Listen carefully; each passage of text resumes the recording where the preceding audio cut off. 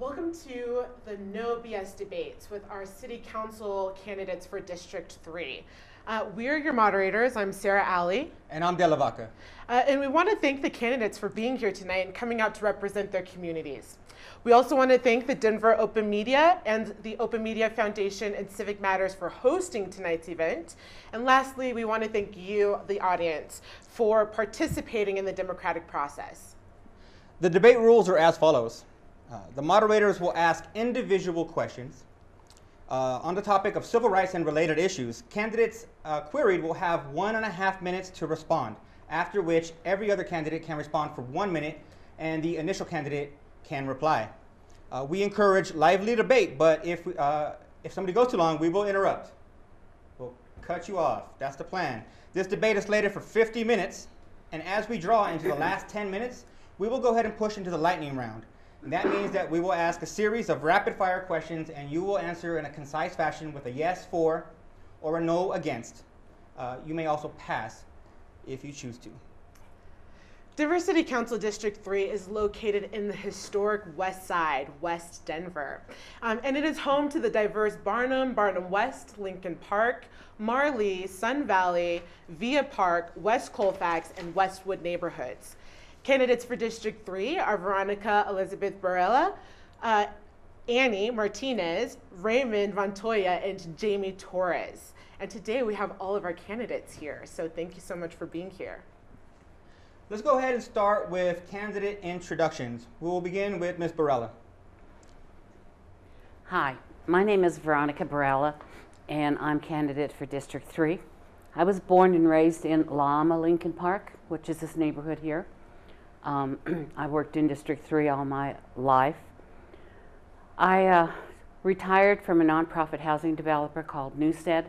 NEWSED was responsible for the revitalization of not only this neighborhood but Santa Fe Drive and ushered in the art district. We also built the two shopping centers that are here in the neighborhood on Colfax and Calumet and Santa Fe Drive. It was the first retail use back in the community in 25 years. We also helped usher in the King Soopers and also wrote the concept paper for the UDAG project, which was an answer to bringing back a middle income group that was displaced on the Auraria campus. We lost a third of our Latino community high home ownership. so my experiences in business development, housing, civil rights work, community organizing. I actually brought back the Cinco de Mayo uh, back to Santa Fe Drive years ago. It got so big we had to take it down to Civic Center Park.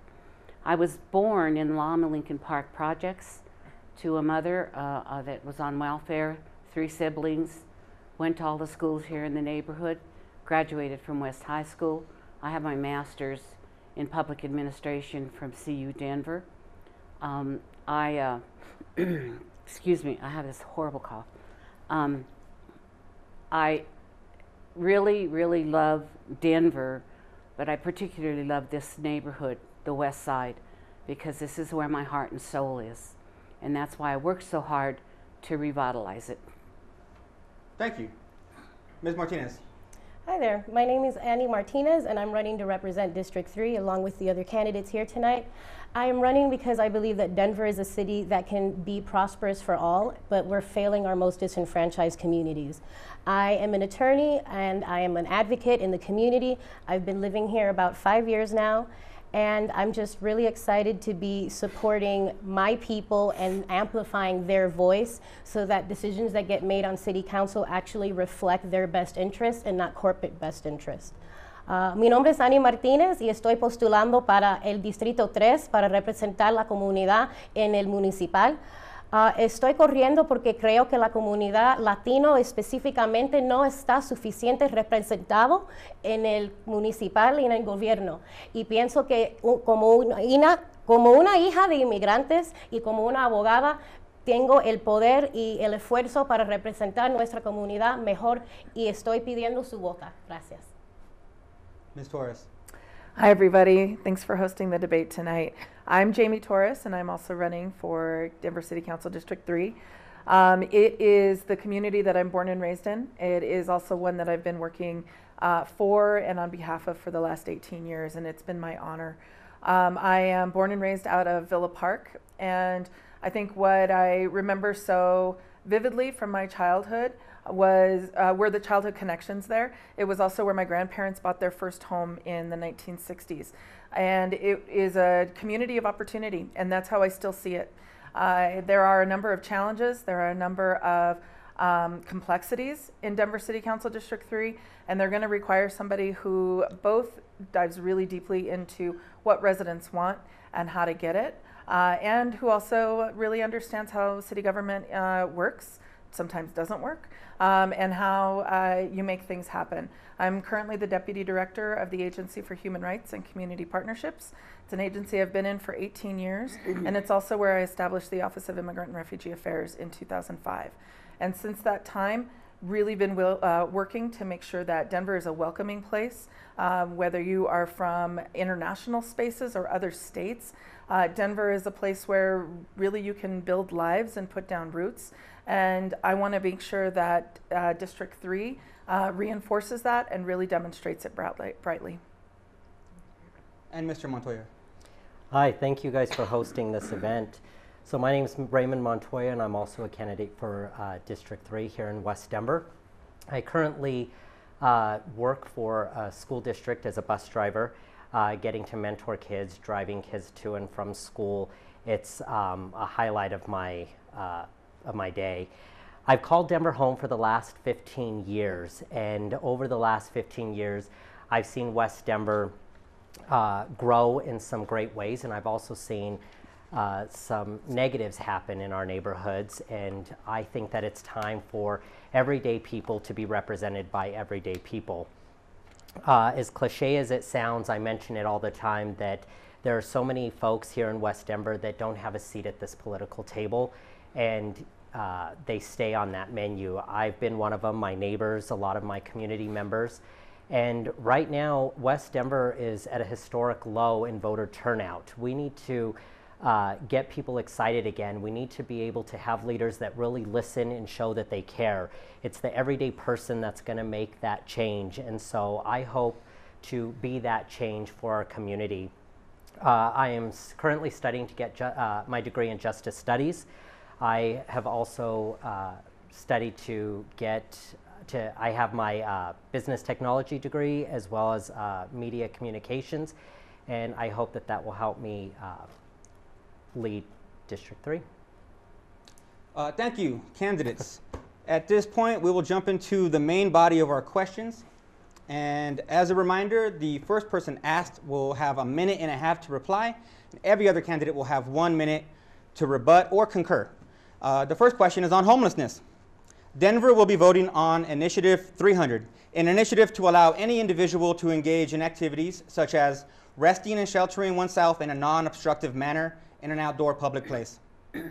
the Right to Survive initiative is premised on protecting the homeless from city mandated property seizures and a camping ban that leaves officers confiscating property year long, regardless of weather. This is a city authorized police action which leaves the unhoused facing any number of adverse health outcomes, including and up to death, and which also deprives them of personal property. Fearmongering around Initiative 300 claims that permanent tent cities will pop up, which is not true. There were also claims that disease and waste will spread, which assumes the city can't mobilize public utilities and health agencies to help, while longer term solutions are organized. Do you support 300? If not, or if so, which other areas of our city resources should be mobilized to support our unhoused populations? We'll begin with Ms. Martinez.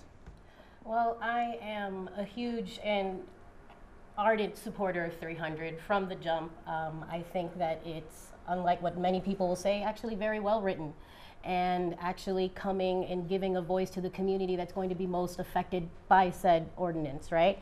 And I come, come at it from a lot of different lenses. One, as an attorney and having represented a lot of our unhoused community at the jail when they've been ticketed for these exact types of citations. But I've also lived this life now in Denver. In the five years I've been here, I've been unhoused under this camping ban. I've slept in my car and been worried about, well, what's going to happen if a cop comes and tries to ticket me, or even worse, if I look a certain shade of brown that day, do I make it out alive? right? So I have plenty of reasons, personal and professionally, to be supporting 300 on top of morally. I definitely think it's the right thing to do, and I think that it's informed on the community's needs. And I mean, the way you preface the question kind of hit all the points anyway that I would have made. The fear mongering surrounding it has been abysmal and like abhorrent morally. The money going into Together Denver or whatever it is that's supporting the backlash, that's money that could have been much better spent on the community themselves. And on top of that, Denver just needs to do more public housing and more transitional housing. We have a surplus in the millions, and yet we don't use it to actually bring forth solutions in this dire crisis. Thank you. Um, I, uh, I agree with Annie. I, you know, $1.5 million to defeat this initiative is just ridiculous. Should be uh, spent on the homeless. The camping ban criminalizes the homeless, and it's just wrong. Um, the Ninth Circuit Court has found there in Boise, Idaho, they had a similar uh, initiative, and they found it, um, you know, it violates their civil rights. It's cruel and unusual punishment. I, so, I hope somebody here is filing a lawsuit against Denver's camping ban. That would go to the Tenth Circuit Court. Um, we've talked about that before. But what's going on with the homeless in the city is just wrong. The camping ban, I think, was instituted about seven years ago, and I think only two people, no, three people on city council voted against it. Um, if, if I'm, if I'm lucky to get on city council, I will put forth an ordinance to, to remove the camping ban because it is cruel and unusual punishment, and I hope somebody files a lawsuit really quickly about it. Um, criminalizing people, homeless people, is just wrong, and we need to better house them. Putting up 11 tiny homes is not going to, is not. I mean, it's good, you know, it's a start, but it's not going to uh, uh, meet any of the solutions to help the homeless. They need housing, they need, uh, they need counseling, they need mental health help. They just need a lot of things, and they're not getting it. Before anybody rebuts, I just want to bring up, I don't know if you all heard, the uh, Tiny Home Village found a new home in Globeville. It's being Mhm. relocated, Right. it's been fully approved. Mm-hmm. Uh, That's actually very exciting for Denver, um, but also points to a need for bigger steps to continue with rebuttals. Yeah, we do need. I am supportive of 300. So it took a lot of um, going back and forth, talking to a lot of different folks uh, who are for 300 and who are against it. Uh, reading the language, it uh, really clarifies exactly what 300 will do, and it squashes. For those who are against it, if uh, it should squash. Uh, any misconceptions that it has. Um, I think that 300 is the right choice right now. We're criminalizing, like everyone else on here so far has said, uh, our homeless population, and it's just not right. We've had over 220 uh, homeless people die um, recently because of the urban camping ban, and it's just it's not okay. Um, we need to do better. They, the budget has really been cut on mental health services, and the city has been utilizing uh, jails for their mental health services. And it's it, we got to do something. Uh, we got to find more permanent solutions rather than the temporary band aid that's that's on our that's in effect right now. Uh, from from my angle, and both working in human rights, but also having um, experienced poverty as a teenager when we lost our apartment, um, what what really elevated our family through that uh, was housing. Um, we were approved for Section 8 housing out of Littleton Housing Authority after a year of uh, being in couches and spare bedrooms um, with my mom and my sister. Um, and housing is what we need. I know that it's hard to come by. I'm not a supporter of 300, but largely because it, it in and of itself isn't a solution. Um, and I don't think the city has done a good enough job putting solutions forward. Um, what I do credit the supporters and the petition signers, I was one of them who actually put this on the ballot, um, was that it has forced a conversation for the city and actual action. Um, that now there's you know a new department and 15 million dollars in funding uh, that's going to go toward uh, housing and homelessness solutions. Um, Denver's Road Home has long needed an overhaul, and what it really needs to do is overhaul sheltering as well. Um, the tiny home village was a success, uh, we need it in every single neighborhood, and even the neighborhoods that don't want them. When you say housing is the solution and 300 isn't, what do we do for folks like Benjamin Harvey in Boulder that didn't make it to a shelter and trying to abide by the camping ordinances ended up dying on Christmas Day in the city of Boulder on the bandshell? Uh, when we take from the homeless the limited amount of insulation that they have from the elements and say, well, this isn't the solution. What is the solution today? Because housing is definitely the solution, Right. but it's long term. It takes time. What is it? We have. it's been reported that luxury apartments make up 88% of new apartments in Denver. Uh, homes averaging 5,000 square feet are taking up spaces that used to be 1,500. What's the solution for today? For today, it's reforming shelters. Right now, they're not 24 hours. Right now, they do not allow couples. Right now, they do not allow uh, service animals uh, or pets. Uh, right now, they do not. Uh, they are not as opening to LGBTQ identifying individuals. Um, sheltering services need reform, and that was actually recommended by uh, the director of Denver's Road Home right now. It's also a complete shortage of beds. Even if they were to reform it, there's just not enough space for everybody. There is Final enough re- space. Final there's rebuttal about from a Martinez. people that would be without beds because there's about 2,000 beds with over almost 4,000 individuals unhoused. And on top of that, based on just what the ACLU has said, supporting 300. I just fundamentally can't understand how we wouldn't support something that gives back basic human rights to some of our most vulnerable communities. And that's what 300 does.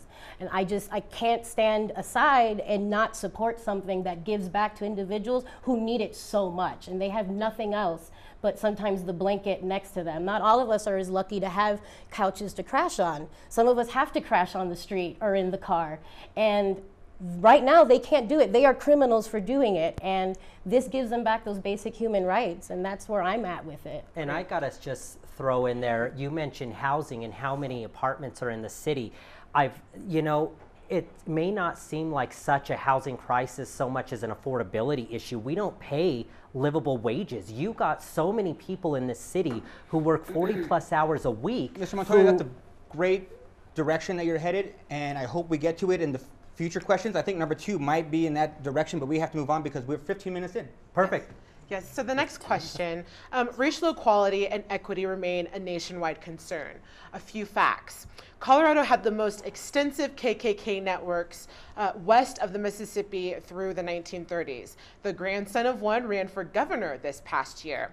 One neighborhood and the airport are named after him, that is Stapleton. Education, educational equity has failed children of color based on zip code. Gentrification continues. According to the Denver Gentrification Study in 2016, our communities are viewed as potential profit margin rather than as community. The Colorado Trust tied historic segregation to modern gentrification. Addressing the racial wealth gap in Colorado, they said the latest view of racial and income inequality in the US shows deep and entrenched disparities along racial lines. How does it play out in Colorado? Not well. Across a range of measures, Colorado is failing to provide equitable opportunities across racial lines. Colorado is third in the nation for white supremacist propaganda. White terrorists white and right wing violence are the biggest threat to Americans, yet people of color suffer the brunt of policing. What are your thoughts on racial equality and equity? How will you work to move District 3 and by extension Colorado towards a more equal and equitable future? We'll start with Ms. Barela. I, uh, I have fought for civil rights my whole life. Uh, when I uh, started to uh, college in Greeley, Colorado, um, I picketed the American Nazi Party that was up there, talking about you know, sending you know everybody back to you know, Africa, Mexico, wherever it was, and finishing the Jews off and and doing the Catholics. It was the scariest situation I've ever been in in my life. But I took a picket sign with the head of the political science department, and there were seven of us students that picketed this man. And I have fought for civil rights all my life. In fact, I started the Civil Rights Awards when I was at NEWSED, and they're going into their 29th year this year. Um, I have fought for civil rights back, um, you know, like I say, from college on. Even when I was in high school, I suffered a lot of civil rights uh, infractions. But I think it's most important to remember about what NEWSED has done over the years and what I've done. We started with redlining and Community Reinvestment Act, the HMDA data. The, I, I co-chair the Colorado, uh, the Committee for City and Airport Fairness. We've, uh, in, we've increased the concessionaires, the MWBE programs, especially at DPS. I am a strong advocate for civil rights, and I walk my talk. Thank you. Mr. Montoya. So, civil rights has been an issue uh, not only in our city and in our state, but in our country. I think that um, we need to start standing up, letting our voices be heard. And, you know, redlining has been such a detriment to our communities, especially here in West Denver. We, um, we live in a minority community where recently, with the growth of our city, we're just getting more and more pushed out. Um, you know, I see this a lot too in our education and the disparity between education and colored uh, students. Our black and brown students in the school district that I work for are just being swept through the system. We're cheating them, we're not able to, we're failing our students in that education process just because of the zip code. A lot of the students suffer homelessness, a lot of them um, don't have the same advantages of other folks, of other students who live in a zip code that uh, is, you know, in a different neighborhood. So we really need to step up and and be a voice for for civil rights. Ms. Torres, you had something. Sure. Um, this is such an important question uh, for me, but also for the city because it's one that we've failed to address for decades. Uh, my agency was created in 1947 with the sole purpose of assessing race relations in the city at the time. And this was under Mayor Quig Newton, who came right after Mayor Stapleton. And here we are, 70 plus years later, um, with uh, fewer answers than solutions when it comes to how we view race, power, and privilege in this city. Uh, because we are a liberal and progressive city, um, it also gives us some cover to not talk about things like those three issues uh, and the ways that they play out. And from a council seat, we've got to be willing to get into interpersonal oppression, systemic oppression, and institutional oppression and find the ways that we dismantle those, both from the inside out and the outside in. I think a big part of that, though, I agree with what you said, Jamie, but I think we have to go a level deeper in recognizing that that systemic oppression, that racist structure, is tied in with capitalism and they feed off each other. Mm-hmm. And that capitalism is one of the biggest um, pushers of racist policies and that they reinforce one another. And that we can sit here and try to talk about our internal biases, but until we affect that structure and dismantle a lot of that, which like, um, legitimizes the racist structure that we live in, I don't think we're going to fix all the problems. And with all due respect, people who've been, you know, in the city, in this limelight for so long, the problem still continues. And so it's like, where, what has been going on these, all these years that um, people have dedicated their service to the city that the solutions haven't uh, came about. We're suffering more racism um, in this day and age in 2019, um, just as if it was in the past, we, we got to do more. We got to hold uh, people in those positions accountable, I think. Anti Defamation League has markedly looked at um, hate crimes and the increase since 2015, and it has gone from literally nine to over 50. Um, this isn't something that is just a, a, matter of local, this is national situation that's increasing and allowing to levitate um, hate and uh, systems of oppression that were seedlings um, that have been, that have grown uh, in in both stature and I think dynamism throughout the country. Let's get a last word from Ms. Barela. Yeah. I, I, feel like you are the only one that really gave concrete examples of things that you've done to address racism. Right. And we can talk about structures and the structure. Right. It, it's, it's a it's such a broad idea, right? Like the average person doesn't even know how to address that. Mm-hmm. Systematic institutional races, racism is a huge problem. And you know, you can talk about it all you want, but if, if you don't do something about it, you know, addressing, for example, the Committee for City and Airport absolutely forced the Denver Public Schools to do a disparity study because on the bond issue, less than 1% of those funds were going out to black and brown contractors. Now, now get that. I'm saying less than 1%. You look at the population of black and browns in DPS and and you know we couldn't. We I mean we had to fight with Boasberg for several years to get him to do that disparity study. We fight with the mayor. I mean, you know about hiring, you know, and and and commissions and and those problems too. Out at the airport, the concessions were down to 25 percent under Mayor Hickenlooper, from 40 under Mayor Webb, and we have gotten that back up to 44 percent. And that's because we get in there and we, we deal with the institutional racism. We know how to deal with it. I know how to deal with it. And we find results when I'm through with it. Such a huge topic. I appreciate your answers. Yeah, thank you. I don't think we're going to find a solution today for that. But In a that's, that's, for, that's for one of you. That's for one of you on council. Exactly. Question three. Uh, we'll start with uh, Ms. Torres. April, uh, today is the last day of April, is Sexual Assault Awareness Month. One in five women and one in 17 men in Colorado will experience an attempted or completed rape in their lifetime. These are the uh, only the ones that these reflect only the ones who have reported the rape. Blue Bench uh, rape prevention program here in uh, Denver says that 60% of rapes go unreported. 42% of victims experienced their first completed rape before the age of 18. A 2016 survey found that 28% of CU Boulder's female undergrads had been sexually assaulted. In 2018, Denver DA Beth McCann prosecuted or was able to prosecute only 33% of rape cases, a small improvement over her predecessor's average of 30%. The Denver Post Rape Tracker shows that Denver has had 218 sexual assaults reported so far this year. That's up from 122 when we began this debate series a few weeks ago. It's an average of 56.2 a month in Denver. The average number of rapes per neighborhood this year in Denver is 2.79.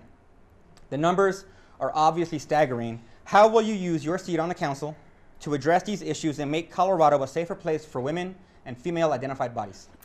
Uh, those statistics are horrifying and uh, true. And as uh, a woman who takes public transit um, and who has survived uh, sexual assault, um, it's horrifying that it hasn't gotten better.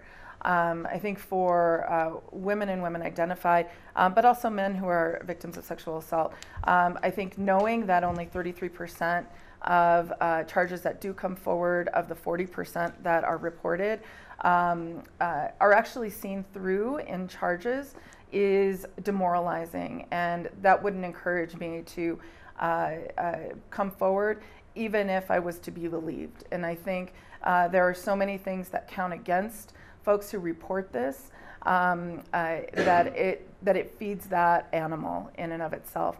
Um, there are a number of things that I think a city council person can do, uh, both in a position of leadership, um, but also of, of, of shepherding conversation, is uh, to elevate this beyond just what women can do to make themselves safe and report, uh, but also what we expect of men and of other community members to speak up and to believe women and victims and survivors. Um, all of this, I think, requires culture change and our ability to have courageous conversations about this, uh, give people safe spaces to report it, um, and dive deeply into communities that are afraid to do that. As the director of the Office of Immigrant and Refugee Affairs, that's exactly one of the things that we help do. Open it up. I mean, I think a big issue though is people don't open up and report because there's no consequence. When our mayor gets away with, you know, certain comments of harassment, it's going to embolden other people. And we've got our president who's been elected who behaved the way he has behaved, it emboldens people. And you know, the DA's office has no problem persecuting black and brown people for like crimes that are not actually harming anyone, in crimes of either economic nature or maybe of others that don't actually involve force. There's plenty of time to prosecute those, but yet we can only do 33%. Like that's an abysmal number. It's because the desire isn't there, and the desire isn't there because the police don't care because they don't believe it, and they're not doing the right type of investigation with it, and then it doesn't rise to the level of any prosecutor prosecuting it because they don't want to. They don't buy into it. So it's great to have the conversations to say we're going to believe victims, but you know that's again it comes off kind of patronizing, like yeah I'll believe you, but I'm not going to do anything about it. You know, and until people feel that there's consequences for these actions, those numbers won't get any better. I know so many women that have been um, sexually abused, and I really think that the Me Too movement has been really helpful in this country to bring much of this to light.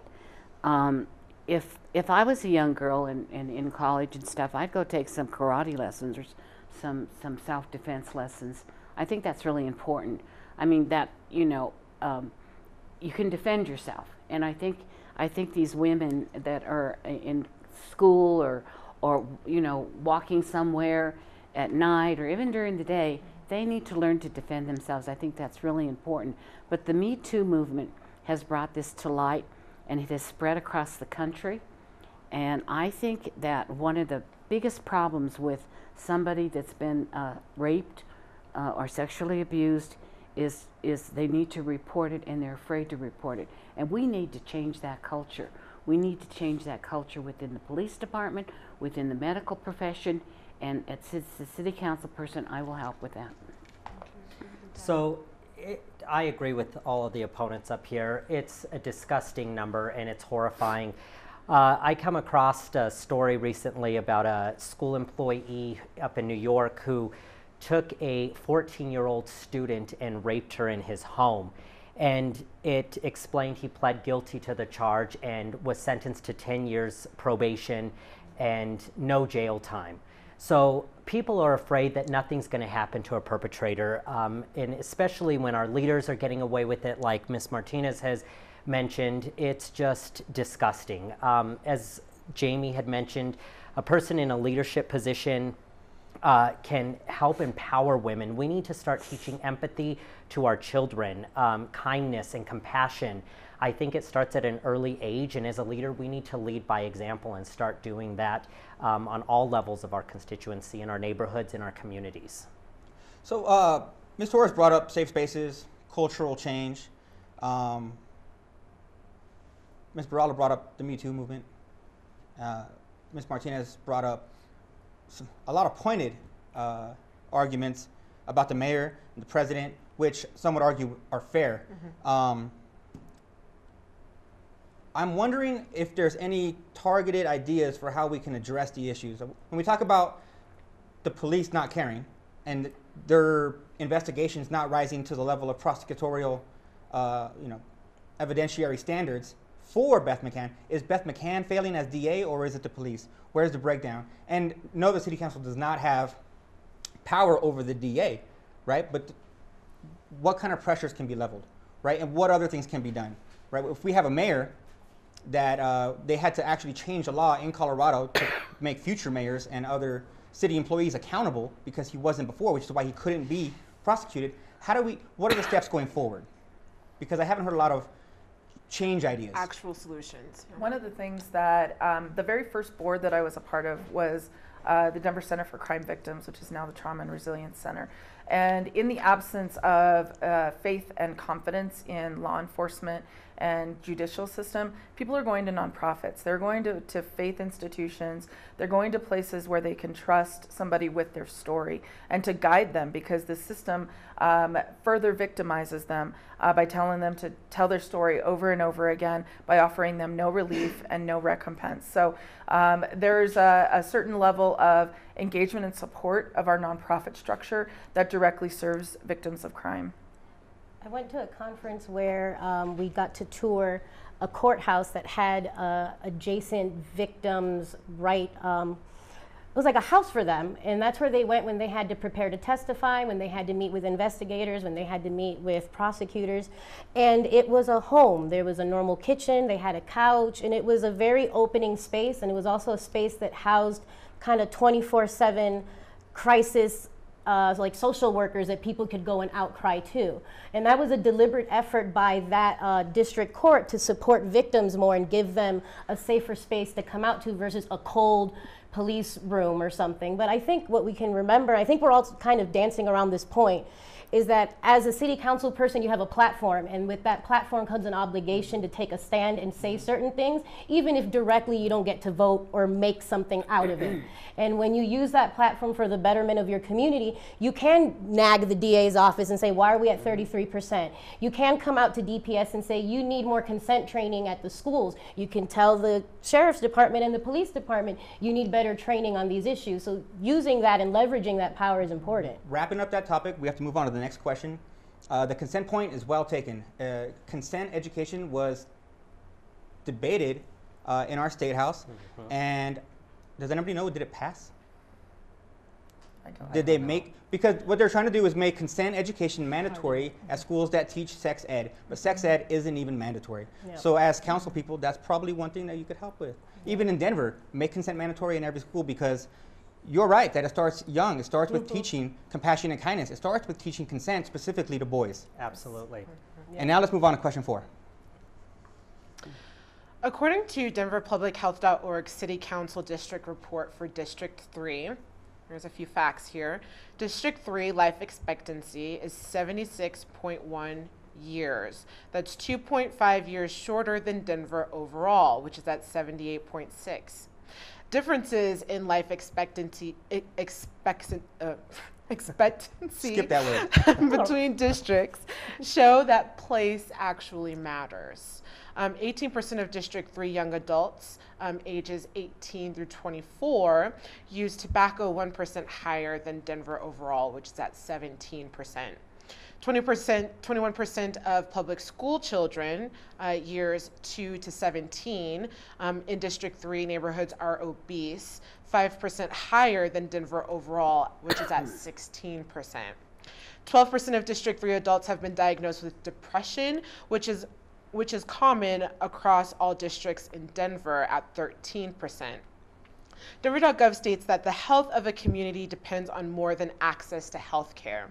Healthy communities are composed of our physical environment, healthy op- opportunities, support, and where individuals easily connect with community partners, healthy food systems, and safe environments. Increased access to these items allows individuals of a healthy community to thrive. Do you believe District 3 is serving its community equitably in these areas? And if not, what are you going to do to address the disparities that are in your district? We'll start with you, Mr. Raymond. So I don't think that Mr. Montoya. it's my students call me that. It's fine. You're fine.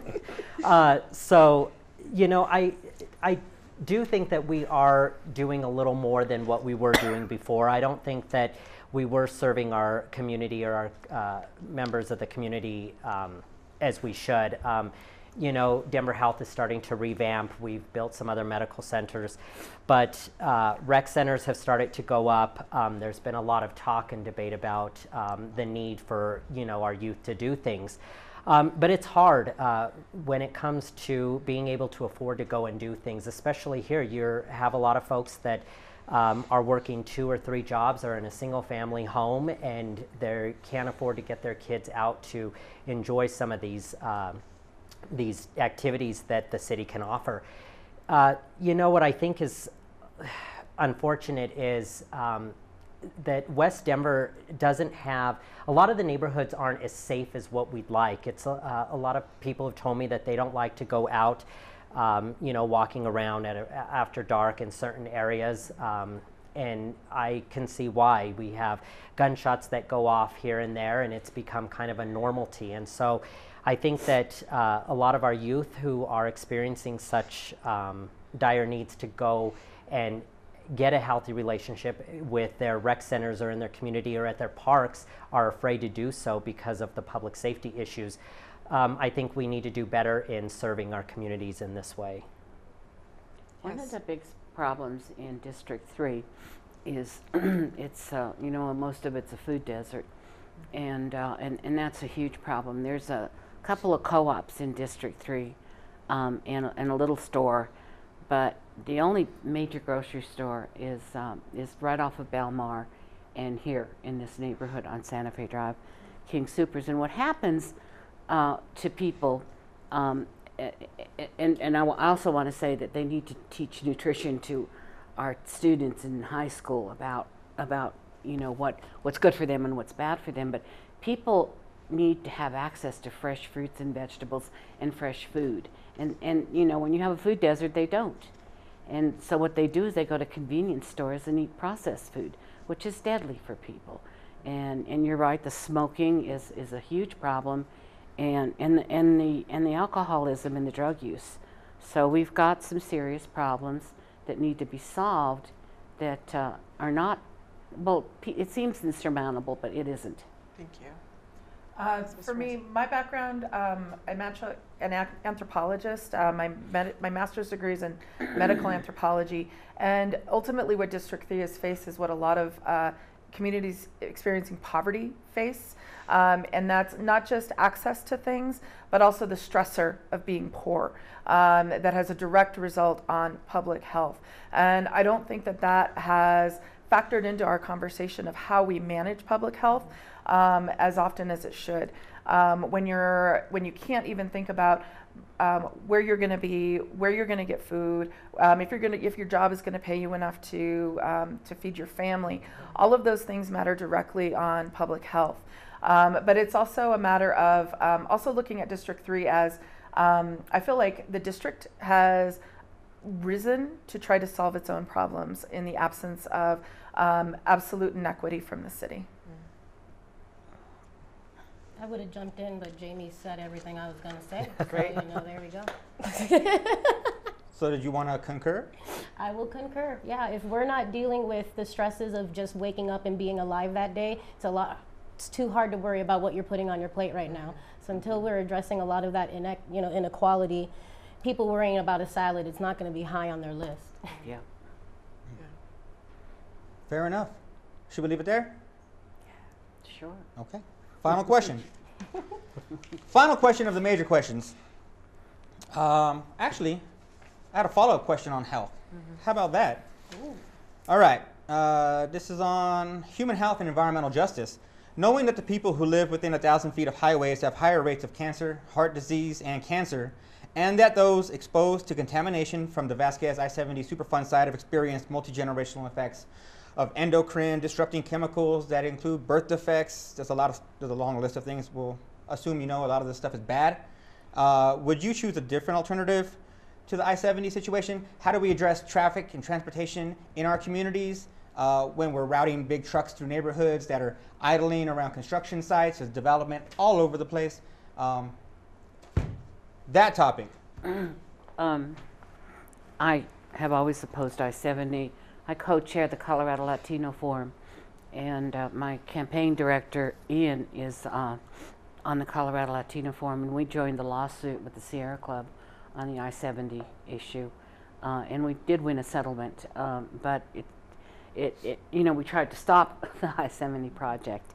Um, those people over there have suffered so much with the ASARCO. They're, uh, you know, women have higher rates of cancer over there. There's higher rates of asthma. And now, what's it going to be like when they start that project? It's going to be devastating. And you see, you can see bits of that all over Denver. Um, in this neighborhood alone, on the other side of Osage, all that area was contaminated. The ice house was so contaminated that when the Auraria campus built the athletic fields, which I helped them with that, um, they they can't build buildings on there because it's so contaminated. You know, who knows how long it lasts? Millions of years. Um, same with the Burnham Yards. The this whole area over here is really contaminated, and it impacts the health of this neighborhood. And, and before we leave it with those people in that community, um, it's important to understand that pollution travels with transboundary pollution. What's happening Look in District 9, it's happening here. Mm-hmm. I live on uh, the Boulder County side of my city, and there's Weld County, and Weld County has some of the worst air pollution Yep. because of all the oil fields. I guarantee you I'm breathing that. Yeah. So it's, it's not a, a problem for another community, even though some of the industries might be located in different areas. There's not Right. like boundaries in the sky that magically keep particles away from you breathing them in as much as we might as much as the wealthy might think that's what happens in Cherry Creek, you're still gonna breathe it eventually. I mean we have to get down to the point that it's a civil rights issue and it was a race based issue. I'm totally against the expansion of I 70. They should be looking at rerouting it. And we should not be looking in this century, in this day and age, with the, the crisis of global warming and everything else, to be adding more pollution. We should be looking at multimodal transportation. We should be looking at becoming carbon neutral, not expanding a highway. It's just antithetical to common sense. Thank you. And we're running low on time because I was having fun. so At least that's Per good. usual. let's go on to the next question on local media. Uh, this is a topic near our hearts, obviously. Uh, I run a magazine in Boulder County. Uh, everyone here is a professional and working to be professionals. Uh, media is in crisis in Colorado, right? Denver Open Media, our host today, this location uh, is being defunded. Much of the equipment has been removed. Uh, the Denver Post and the Daily Camera are two major papers of record for the region, uh, are owned by hedge funds who are busy extracting capital and laying off staff. Right? Staff from the Denver Post actually started a new newspaper called the Colorado Sun and got a grant to operate for two years. Uh, fake news is the slur of the day, thanks to our president. Uh, how do we support, how does the council support uh, local newspapers, community journalism, and organizations like Denver Open Media that work to be a pillar of community information and provide equal access, educational programs, and media training to our communities, uh, especially since we have so little media that isn't corporate controlled? Final question, we'll start with Ms. Torres. Sure. Um, this, uh, this hits incredibly close to home because my husband is a photojournalist who used to work for the Rocky Mountain News.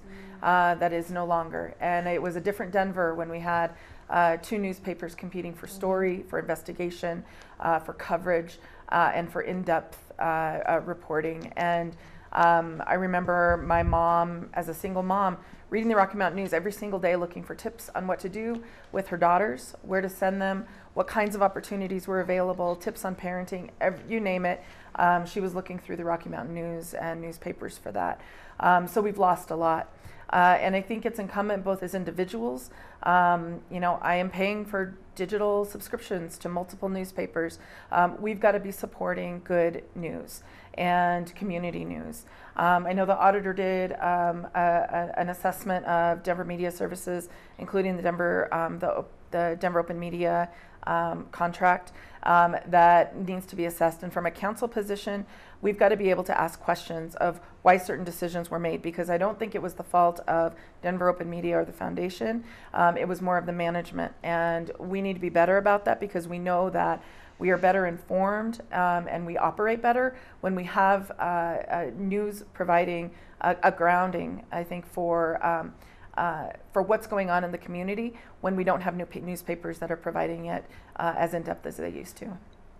Before we have any uh, rebuttals, there's some more context to that to my question that, that's important. Yeah, let's explore this a little bit further. So, rather than renew support for public access media in 2018, uh, Denver's Department of Marketing and Media Services under Mayor Hancock removed control of Denver's three public access television stations to the city, resulting in the city co opting control of the media and content from the public. Uh, government control of the only public TV forum for free expression and dissent compromises our First Amendment rights of of the people. Um, access to equipment, facilities, and classes by the public has been greatly diminished since the city has removed much of the video broadcast equipment from Denver Open Media. Uh, the question here is Is mayoral control of public access media another example of power outreach by the mayor's office? Power overreach. Overreach. Yes, most absolutely. I mean, Yeah. All together now. Yes. Yeah. In unison. Thank you. But as council people, right? It's a problem. How do we address it? yes. We need to start uh, shifting some of that mayoral that the mayor the mayor's office has so much power that city council is kind of mute unless you have seven of the you know 13 votes but I think that we need to work on transferring some of that power back to city council. Um, by doing that, I think we can alleviate some of the problems that we're seeing, like the one you just mentioned, Sarah. But I think that uh, the mayor has a lot of power that is overreached in many aspects, including the topic you just brought up in the media. This, this horse trading that goes on, you know, in the mayor's office that nobody knows about, uh, and then, and then this happens to the open media. I, we were here the day that they were told that, uh, they were gonna lose, lose open media, and their equipment was gonna go. You know, I, I agree with Raymond that some of that power in the mayor's office, um, needs, needs to be transferred over to city council. Mm-hmm. It, he, it's too powerful, and what you get is, for example, you get like there's four consulting firms that get hundreds and millions of dollars, hundreds of millions of dollars. They consult for everybody. Mm-hmm. And so, what about all the other consultants out there that would like some work in this city? Mm-hmm. And they don't get it because, you know, the mayor controls everything.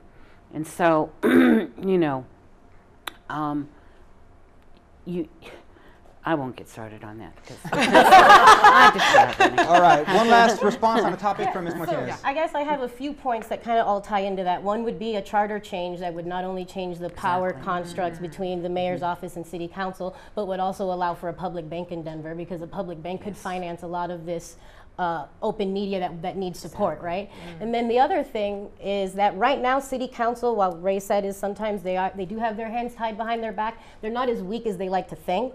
And if they stood up to the mayor more and said, "We're not going to approve this unless we do this," and manhandle them a little more, for lack of a better word, maybe we'd get somewhere. And then on top of that, I just find it ironic that as a socialist, I get told all the time, you want to make Denver Cuba, and yet we're a city where our mayor's office controls our alleged media. So, I mean, we're really worried about socialism. I don't know. I think we're already there, I guess. Ms. Martinez's plan is to strong arm the strong mayor that we have.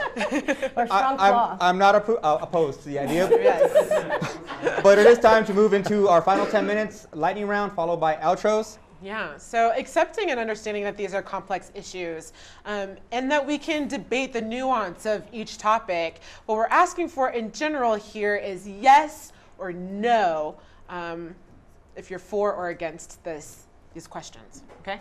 All right, so to start. Go ahead. All right. Denver unveiled a new transportation proposal for a city department to supplement RTD's regional efforts. Are you for or against? Four. Four. Four. Four. Denver is home to the nation's most polluted zip code. Transition Denver to fully renewables by 2030 or sooner, yes or no? Yes. Or sooner. Yes. Absolutely, yes. Denver is voting on decriminalizing mushrooms, the psilocybin initiative. De- uh, decriminalize mushrooms, yes or no? No. No. Yes. Yes. Uh, importantly, plug, they're having the world premiere of the movie Dosed in collaboration with uh, Decriminalize Denver tomorrow night at Landmark Mayan Theater, 7 p.m. Tickets available on Eventbrite. I just, I support movies. Plug. I used to work at Blockbuster at the thing. That was smooth. That was smooth. My first job. State Representative, State Representative Julie Gonzalez has proposed removing the ban against rent control to allow cities to decide for themselves what works best to support lower income renters. If the ban removal passes or passes in the future, would you support rent control in Denver, yes or no? Yes. Oh, yeah. Yes. Yes. Do you support deferred action for children arrivals DACA, yes or no? Yes. Yes. Yes. Yes. The Olympics Initiative, prohibiting the use of public monies, resources, or fiscal guarantees in connection with any future Olympic Games without the city first obtaining voter approval for or against. Yes. Support. Yep. Support. I support it. April 10th was Equal Pay Day. The Equal Pay for Equal Work Act was recently heard in committee. Do you support a law to ensure equal pay, yes or no? Absolutely, yes. Yes. Yes. Oh, that's good. and together. Ex- accepting that constitutions can be changed, should we ban fracking in Colorado, yes or no? Yes. Yes. No. Yes. Oh gosh, now this question, prepare yourself. Chocolate or vanilla? Ooh. Vanilla. Swirl. Swirl! Oh! Caramel. Ooh, Get out. Fuera. I broke the Chocolate. rule. Chocolate. Okay. thank you. and finally, for all the people that watch TV in the room, ending on some important geopolitical intrigue, who's going to win the Game of Thrones? Oh God, I didn't watch it. Arya. Are, uh, Daenerys. Khaleesi. AKA Mother of Dragons. Team Arya. Shane. Shane. But I love dragons. Ladies, and, ladies and gentlemen of the audience, ladies and gentlemen of the audience, candidates of District 3, thank you so much for being here. Mr. Montoya, Ms. Torres, Ms. Martinez, and Ms. Barela. Thank you, Good Sophie. luck in your races. uh, if you haven't voted at home, ballots are available. They're probably in your mailbox. They're due by May 7th. Uh, Too late to mail them, though. it's too late to mail them. Make sure you drop them off. Hand them to somebody just to make sure. Make sure you vote. You get the democracy you vote for or don't vote for. Uh, on behalf of Denver Open Media, the Open Media Foundation, and Civic Matters, my name is De La Vaca. and I'm Sarah Allie. Go vote.